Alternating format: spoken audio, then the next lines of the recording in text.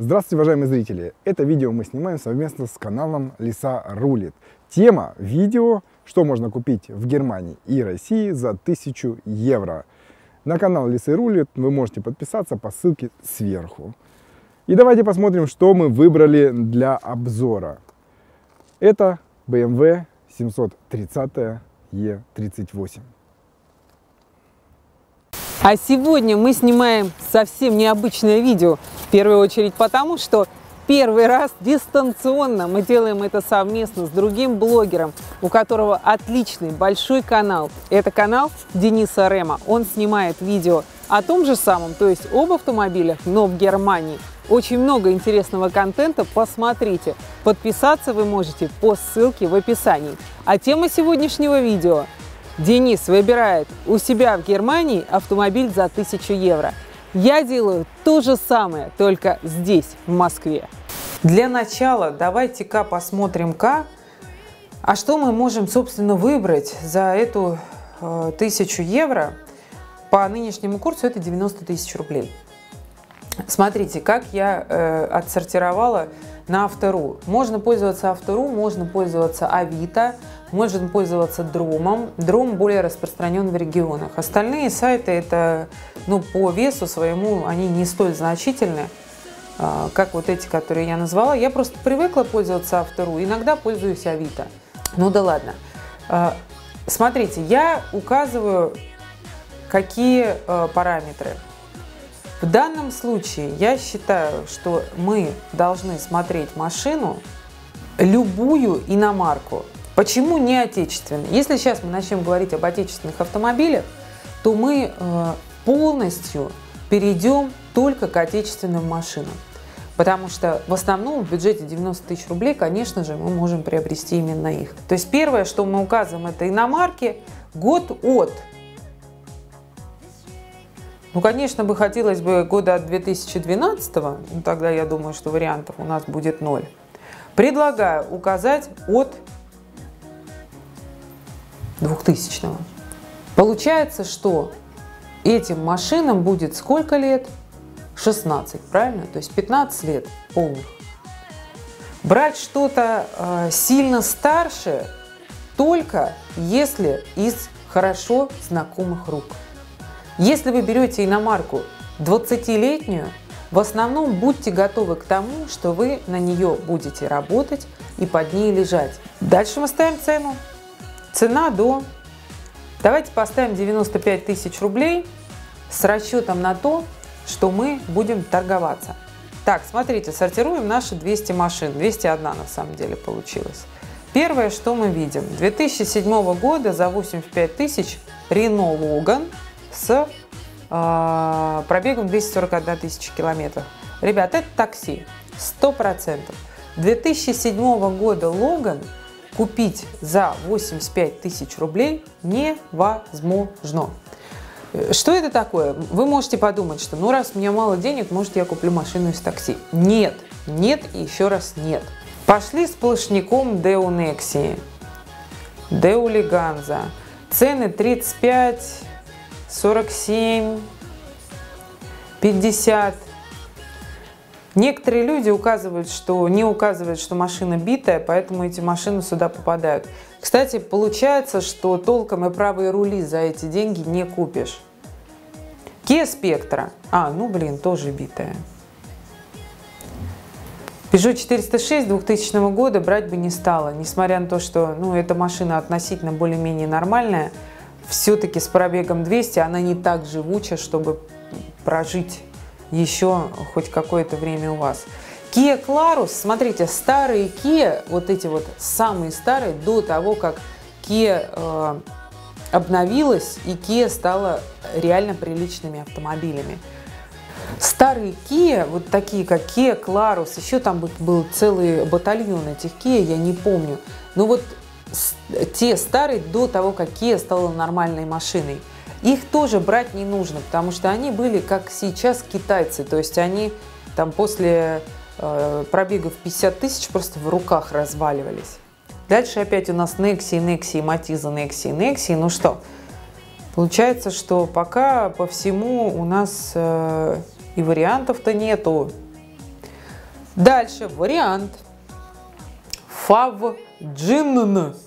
Значит, различного рода чудесомобили китайского производства задешево, которые вам предлагаются в огромном количестве э, сейчас э, людьми потерпевшими, иначе не скажешь, которые когда-то эту машину зачем-то купили задорого новой, э, брать нельзя ни при каком раскладе.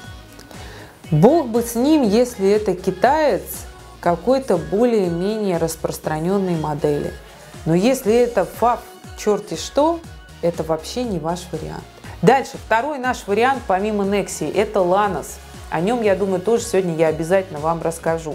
А, потому что вот сейчас вырисовывается такая картина, что мы а, выбираем Nexia, Lanos, которые вполне доступны в этом бюджете. Сейчас мы уже дошли до бюджета в 70 тысяч.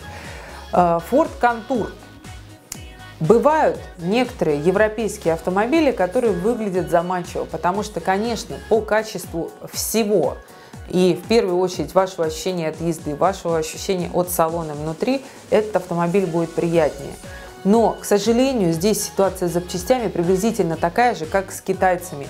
Вы этих запчастей не найдете. Будет очень тяжело содержать и обслуживать эту машину. Поэтому тоже вот такие экзотические варианты даже европейских автомобилей не рекомендую. Хафей Брио туда же в китайскую корзину. Дальше листаем, листаем, попадаем на несколько Renault Clio. Машина неплохая, но достаточно дорогая в обслуживании, дорогие запчасти. И э, по этой причине э, Clio в хорошем состоянии в нашем бюджете, к сожалению, мы не возьмем. Дальше стали примешиваться у нас немножко ланосы, ланосы, ланосы. То есть у нас сейчас основная масса, нексии и ланосы иногда попадаются матизы. И дальше нексии, нексии, нексии, нексии и немножко лан, ланосов, ланосов, ланосов, ланосов. Ну, Ребят, в общем, у нас приходим к выводу, что у нас варианты либо сейчас мы поедем, а, посмотрим и расскажем про Nexia и про Lanos. Вот это то, что реально купить в нашем бюджете сегодня и то, что не будет критически выносить вам мозг. Я уверена, сейчас у многих внутри кипит негодование, а как же так, а как же так, а как же пятерки BMW какого-нибудь 98 э, -го года, как же Audi, бочки 93 и так далее и тому подобное. Почему, в отличие от Дениса Рема, мы не можем рассмотреть старые европейские машины? Потому что э, в этом бюджете мы можем посмотреть машины ну, 25-30-летней э, давности. Э, то есть, отнимая от сегодняшнего момента, это 90-е года, начало 90-х, середина 90-х. В те времена вы, возможно, еще не жили, потому что аудитория у YouTube достаточно молодая. Я жила. Да, я была мала, но я хорошо помню эти времена, и автомобилями я увлекалась просто вот совершенно с детского возраста. И э, тогда у нас понятие иномарка, обслужить иномарку, поддерживать иномарку в хорошем состоянии вообще не было. Иномарок у людей практически не было, мастеров по ним не было. Дальше, когда иномарки стали заходить, это стали э, приезжать к нам машины из Америки и из Штатов, э, в основном плачевном состоянии. То есть их ресурс уже был печален. И э, здесь люди как-то там мыкались, как-то они их обслуживали, откуда-то запчасти заказывали, совершенно не имея культуры обслуживания вот тех автомобилей. Те автомобили по сравнению с современным иностранным автопромом были в десятки раз надежнее. Но тем не менее у нас в стране купить семерку BMW от одного, от двух, от трех хозяев в хорошем состоянии – практически невозможно. Это очень редкий вариант. А, поэтому глупость вы и без меня сделаете, как я люблю говорить. Я же стараюсь вам рекомендовать ситуации, когда вы не влетите на ремонт, который будет в разы дороже, чем стоимость вашего автомобиля. Поэтому сейчас мы поедем смотреть Nexi и Lanos. Ну что я вам могу сказать? Chevrolet Lanos, он же ЗАЗ Шанс, Хорошим в этом бюджете, к сожалению, не будет. Он будет похуже, чем Nexia, но это в среднем, я вам говорю. Почему? Потому что изначально Ланос будет новее, они в основном на вторичном рынке представлены от 2008 года. Э, позвонила я по э, одному из объявлений, поехала снимать. Кстати, к чести салонов, которые позвонила, даже скажу название, это Гермес. Мы тут сняли этот автомобиль для Автоплюса. Позвонила, говорю, ну что, как состояние, это за 110 тысяч рублей. Не, во-первых, спросила, за 100 отдадите, сказали, по телефону не торгуются. А, но думаю, что отдадут. А, как состояние? И вот они честно сказали, Елена, а они спросили, как меня зовут, состояние не очень. Не сказали, что прям вот конченый там и так далее. Ну, он э, по состоянию на свои 182 тысячи. Вот давайте посмотрим, что можно купить, если это лан, Ланос. Чуть не сказал Лансер. Лансер нет, невозможно купить за 90 тысяч рублей. Во-первых, все это чудо будет ржавым. Вот здесь вот человек обклеил черным скотчем для того, чтобы э, чуть-чуть прикрыть ржавчину. Но прикрыть ее уже невозможно, потому что в некоторых местах она просто до дыр, до дыр.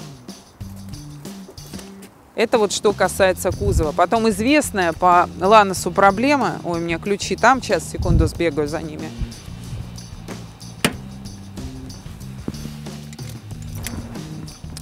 У нее салон подтекает, у него, у Ланоса. И подтекает багажник. То есть в багажнике, когда Ланос смотрите, обычно поднимите, тут, видите, вон лужа.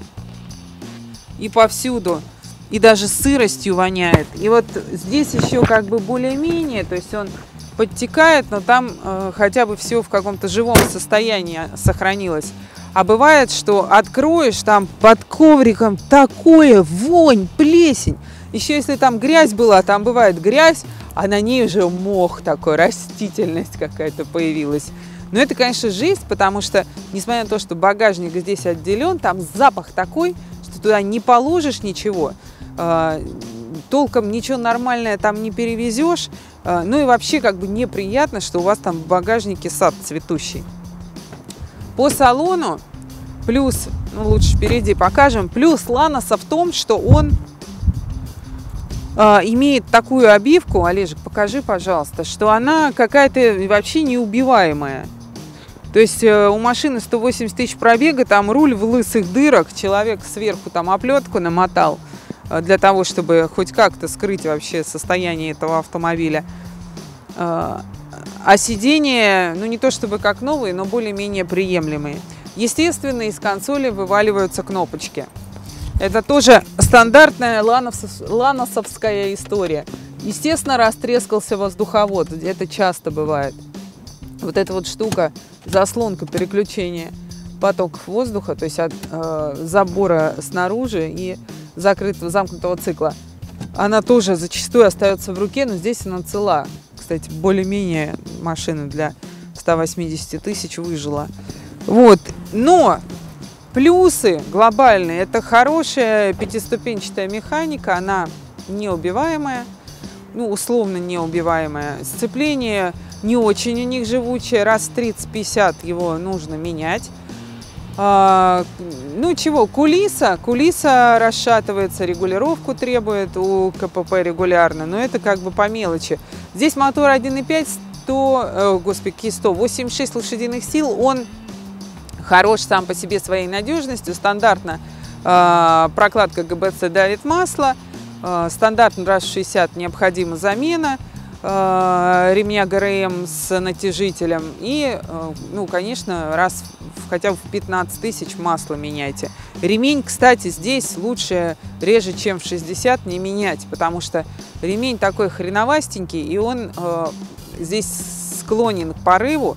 Вот, поэтому обязательно ремень с натяжителем раз в 60 не экономьте, меняйте. Еще проблема этих машин, что на них ездят дикие экономы. Они заправляются фиг знает где на самых дешевых заправках.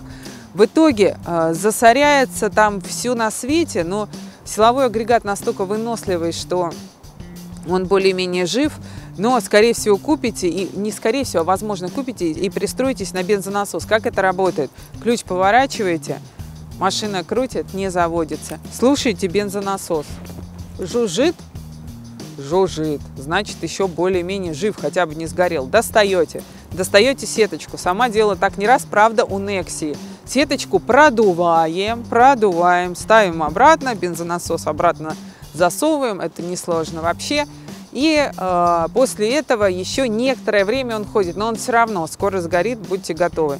Благо, все запчасти здесь стоят очень дешево. Вообще можно за копейки обслуживать эту машину, если искать подержанные запчасти. Ну, то есть это хороший вариант в случае, если денег мало, но ездить надо. Там, например, вы, на, вы э, таксуете на ней, или вы начинающий водитель. Вот я люблю такие машины за то, что они очень простые, ремонтопригодные.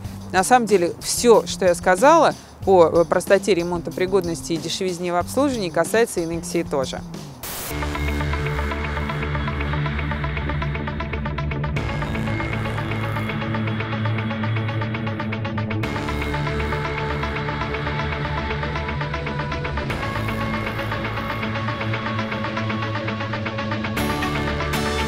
Благодаря моей подписчице, девушке Тане, мы для съемок нашли совершенно уникальный автомобиль.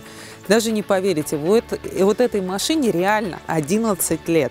Она была, по сути, в одних руках, то есть в одной семье. Покупала мама, передавала э, родственникам, и сейчас Таня ездит на этой машине сама. Таня девушка молодая, просто сниматься не захотела. А, у машины реальный пробег 86, Таня? 89 тысяч километров подтвержденный абсолютно, потому что своими руками эта семья покупала эту машину в автосалоне. Помимо того, что у этой машины подтвержденный маленький пробег, у нее совершенно удивительное состояние по кузову. Основная болезнь Део в том, что они ржавеют. Причем не просто ржавеют, а ржавеют аж насквозь до дыр. И найти 10-11-летнюю машину э, с бюджетом даже 100 тысяч рублей, э, не проржавевшую, это большая-большая удача. Сейчас я вам покажу, как должна выглядеть 11-летняя Деонексия. Вот она, та ржавчина до дыр, о которой я вам говорила. К сожалению, э, дело даже не в том, что собственник за этой машиной следил плохо, а следил он, очевидно, плохо, а в том, что таково э, качество э, металла у этих узбекских коней. В основном они все такие в этом бюджете большая редкость найти что-то лучше. На самом деле вот эта машина, конечно, постарше, потому что у нее на багажнике нет молдинга. В 2002 году пошли 16-клапанные моторы, как у этой машины, и появился, ну, в том числе среди некоторых изменений по эстетике и по интерьеру, появился э, вот такой вот, э, вот такая декоративная накладка, молдинг на багажник. И вот эта машина, она, конечно же, тысячу евро не стоит. То есть даже если хозяин будет хотеть за нее эти деньги, я думаю, он ее продаст за 60-65. По крайней мере, в том виде, в котором она есть. Э, ну, от арок осталась одна требуха, по сути, не осталось ничего. Э, и в дверях есть просто дыры, в которые можно пальчики легко просунуть. И это лишь э, проблемы по кузову. Я думаю, что есть целый ряд еще проблем, судя по тому, как машину пытались вот здесь вот шпаклевать самостоятельно. Я думаю, ее пытались обслуживать самостоятельно, но в силу неумения или нежелания или отсутствия денег вышло это не очень. Вот, посмотрите, как это выглядит в запущенном варианте, если купить машину и лет 10-12 вообще ничего не делать. Если речь идет о Деон и о и о Матизе, и о уже давно почившей Эспера. И где-то у меня на канале в старых видео, э, года, мне кажется, полтора назад, если не больше, я снимала э, урок, можно так сказать, о том, каким образом можно самостоятельно сделать пороги. Я помню, что тогда в комментариях было много критики, тогда у меня еще было время читать комментарии. Критики о том, что э, я учу перекупов, как э, путем трех рублей и выходных одних сделать э, для несчастных покупателей видимость того, что на машине нет ржавчины. Но я на то и есть, я вам и говорю на то, куда смотреть, потому что таким образом, нехитрым, как я учила, особо ржавчину хорошо не сделаешь. Но э, когда человек покупает подобный автомобиль, э, за там 100 тысяч рублей, 90 тысяч рублей. Иди покажи, Тарасик, как на капоте. Тут красота какая. Как выразился Тарас, его кто-то грыз. А, так вот, когда человек покупает машину за 90 тысяч рублей, он делает это не, не, э, от большого, не от большого количества денег, и ему, как вы понимаете, не до жиру. Если бы у него было тысяч двадцать на то, чтобы купить новые кузовные элементы для Nexi, а именно столько, а все по кругу они будут стоить приблизительно, подержанные, э, он бы, наверное, это сделал. Поэтому мои советы для того, кто не хочет ездить вот так – и именно для этих людей я э, рассказывала о том, как можно запенить и самостоятельно сделать двери. Но вынуждена оговориться о том, что это до первой зимы. То есть вы делаете, например, это весной, вы ездите до осени, скорее всего, ничего не отвалится. В середине зимы все повылазит, следующей весной вам нужно будет делать все то же самое. Ну, то же самое вы снова можете проделать самостоятельно путем буквально трех, трехрублевых затрат. И главное, что э, сами своими ручками в своем гараже полюбите свою машинку. А сейчас я покажу, как э, выглядит проступающая ржавчина. Таня, она с той стороны, да? С этой, да?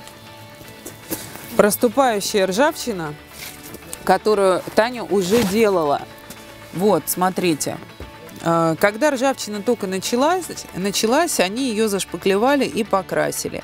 Но, а, как я и говорила, Nexia такая машина, у которой это больное место. Соответственно, вот эта ржавчина снова вылазит. Ну, за сим предлагаю а, на ржавчине остановиться, все с ней понятно, она есть. Э, машина гниет, э, у этой машины все еще более-менее относительно хорошо. Даже не более-менее, на редкость хорошо для такого почтенного возраста. Как я уже говорила, в 2002 году произошел рестайлинг и появился именно вот такой, как здесь стоит, 16-клапанный силовой агрегат. Но я бы в нашем бюджете, о котором мы говорим, предпочла бы Мотор более простой, вот тот вот старый, опелевский, полуторалитровый, 75 лошадиных сил. Этот 85 лошадей. Этот мотор, конечно, посложнее и немного покапризнее. И, да и, если честно, в том бюджете, который у нас есть, мы в этот мотор не уложимся. я уже вижу, что эта машина слишком хороша для нашего бюджета, но тем не менее, в общем и целом, я вам Nexi на примере этого автомобиля дам представление. Так вот, если говорить о том моторе, который у нас э, за наши деньги может быть. Основное. Открываете весь мотор в соплях. Э, почему? Прокладка ГБЦ давит масло. Ничего страшного в этом нет. Это не влияет ни на жизнеспособность силового агрегата, ни в общем-то не влияет на уровень масла. То есть э, подтеки столь минимальны, что это скорее эстетическая проблема, нежели проблема техническая. Э, поэтому меняем прокладку ГБЦ на ланосовскую и э, течи становится меньше, она просто живет элементарно дольше. По мотору что нужно знать? Э, это ременный мотор. Привод газораспределительного механизма осуществляется ремнем. Соответственно, а, ремень нужно менять раз в 60 тысяч вместе с натяжителем. Ни в коем случае на этом не экономить. Он стоит не так уж дорого. А, будете экономить, а, придете к, можете прийти к плачевному результату после порыва ремня. ремня. Также открывайте заливную горловину. Под ней видите распредвал. И если там вы видите, что не как у этого автомобиля, а как у какого-то другого. Масло черное, как гуталин. Это будет означать, что владельцем автомобиля был хренов эконом. И такая машина вам не нужна. Потому что даже при э, всей моей любви к этим моторам, масло в них нужно менять раз в 10 тысяч. Опять же, не обязательно использовать масло самое дорогое, но а, если сначала лили синтетику, что хорошо, лейте синтетику. Если мотор старый, можно перейти на полусинтетику, у которой, а, у которой вязкость не столь велика. По проводам Будьте готовы к тому, что раз 30, 40, максимум 50 тысяч вы будете менять здесь высоковольтные, высоковольтные провода. Тоже они не аховых денег стоят, поэтому ну, без них, э, не меняя их, скорее всего, не получится, потому что у вас э, машина будет чихать, кашлять и чувствовать себя не самым лучшим образом. И последнее, что стоит сказать, глядя под капот, это то, что радиатор у Nexi очень так себе, причем и основной радиатор охлаждения, и радиатор кондиционера. Основной радиатор подгнивает периодически, раз, наверное, года в 2-3, да, раз. Так вы тоже меняли? Ну, в общем, по моему опыту, раз в 2-3 года радиатор в, просто приходит в угарнейшее состояние, его нужно менять на новый, хорош его латать, э, в какой-то момент закипите просто. Ну и что касается кондиционера, компрессор кондиционера здесь полная фигня. Он где-то раз в два года выходит из строя. И, скорее всего, когда вы машину будете покупать, если вы будете покупать комплектации GLE или GL плюс кондей, а, вам будет собственник вешать на уши, что а, нужно просто фреончику заправить. Фреон – это вещество очень летучее. Если система не герметична, фреон уходит. Если система герметична, фреон никуда не уходит. Эффективность кондиционера с годами, безусловно, снижается. Но э, Nexi это в основном не касается, потому что у них э, раньше фреон улетучивается, нежели э, э, снижается эффективность кондиционера. Короче, скорее всего, пристроитесь на э, ремонт кондиционера, и раньше это стоило 200 долларов, это я прям отчетливо помню. Сколько сейчас, не знаю, не узнавала. По подвеске основная проблема – это задние пружины. Они подламываются, если вы часто ездите с задними пассажирами, либо если вы часто ездите с груженной машиной. А, народ часто вообще ничего не делает. Но подламывается и подламывается. Так и ездят. В принципе, можно, да, можно забить. Но лучше не забивать. А, и суппорта а, подклинивает очень часто – решается это как? Ну, на самом деле, никак. Замены и замены лучше на ланосовские, которые э, ходят дольше. Только здесь колеса какие? 13 скорее всего, да? 14 14 Вот ланосовские суппорта, они идут, насколько я помню, на 13 колеса. Мне так кажется. Еще из неприятных нюансов, которые вы, скорее всего, увидите, когда будете выбирать Nexia в нашем бюджете, вот здесь, видите, дверь идеальная. Сейчас вторую посмотрим. Вот здесь вот двери тоже очень хорошие. Они не провисают. А скорее всего машины, которые только нужно чуть-чуть смазать, потому что она тяжело ходит. Скорее всего, машины, которые вы будете рассматривать к покупке в бюджете 90-100 тысяч, то есть 1000 евро на наши деньги – будут с провисшими дверями. А, чего с петлями не делаешь, вот все равно там их и переваривают, все равно вот рано или поздно двери провисают. К сожалению, с этим приходится смириться. А, правда, вот не у всех автомобилей, некоторым собственникам, видите, хорошо следят, машина, видимо, любит их, двери не провисают. Замки. Замки здесь отдельная песня, они плохие. Скорее всего, в вашем случае они уже все подзаклинившие и не будут работать. В нашем случае при выборе такой машины. А, ну, они стоят не так уж и дорого, меняется личинка. Я помню, что мы с папой вытаскивали, когда мы Нексиями торговали, мы вытаскивали, разбирали, смазывали, ставили, и в большинстве случаев это прокатывало. Но я Нексию люблю, вот знаете за что? За ремонтопригодность, за то, что э, эта машина идеальнейший экземпляр для человека, который только начинает водить, только учится. На этом автомобиле вы можете научиться вообще хоть что-то понимать в машинах для себя. И это, конечно, круто. Понимать что-то в машинах нужно. Я понимаю именно, именно от того, что девятку мы делали с папой самостоятельно, и что моя торговля автомобилями началась именно с Nexi. Так, что касается коробки передач, скажу вам коротко. А, коробка передач долгоживущая, только, пожалуйста, меняйте в ней масло периодически, а, иначе у вас а, будет все тяжелее и тяжелее ходить рычаг, иначе у вас будет что? Иначе у вас будет гудеть она начнет. Вот что будет, вспомнила. И кулиса здесь со временем расшатывается, просто требует регулировки.